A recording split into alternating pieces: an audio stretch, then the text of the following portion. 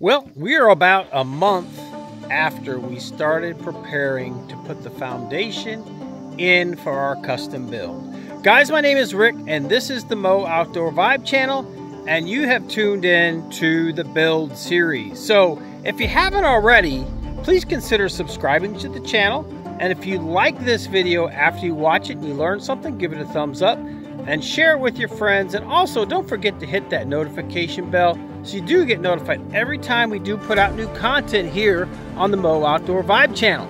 So as I said, we are hitting a critical point. We've got the Caterpillar 963 out here, which means we're probably going to start backfilling against this foundation, uh, which was just had the forms pulled off about uh, a little over a week ago. What I want to do today is walk you through one of the very, very critical pieces of this process before they backfill, and that is how you waterproof these foundations. So here in Missouri, we have full basements, and you need to waterproof those so you don't get water in your basement because we often do like to finish those basements, and we will have some finish on this one as well. Let's check out what the waterproof contractor has done so far and I'll walk you through and talk you through everything that has to be done to waterproof this and most people don't even see this or don't know that this even happens because they move in their house they never see this because it's all underground. So the first thing you'll notice here, and then most people don't see this when they have their houses, there's this black membrane. It kind of looks like tar that you see going all the way around. And well, it stops over there, and I'll tell you why it does. But I'm standing in the middle of one of the garages on this build, and you don't really need to waterproof the garage because it's somewhat of a stem wall as you can see over here. Shorter wall you don't have to worry about water as much but we're really worried about not getting any water in that part of the basement over there. They treat these walls with this membrane the waterproof contractor and they go all the way down to the bottom and then come over the footings with that membrane. That basically seals up the foundation between the basement wall and those footings so that you don't get any water coming in through that seam or that gap between those if there is any gap. It should be pretty tight. But there's also something on the inside that I'm going to show you that will help with that as well. You also notice we have this green pipe with these elbows, 90 degree elbows going all the way around and you'll find those everywhere that we have that membrane. I'm over on the other side where we can get a little bit closer and show you what this pipe is all about. So this is a basically a sewer pipe, a jet stream um, pipe.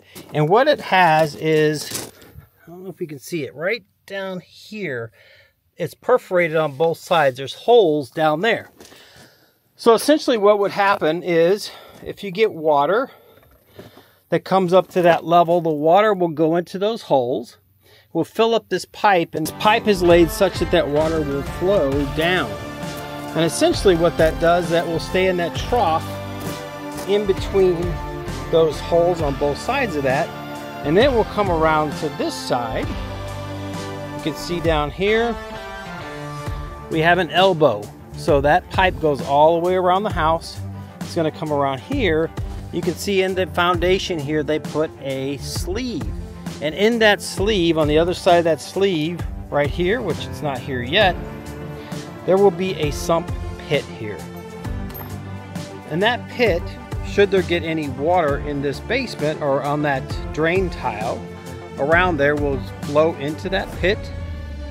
And then we will have a pump on that which will pump the water out of the basement pit that should, should any water get in there. Same thing, they haven't quite finished, but this drain tile essentially runs all the way around the house.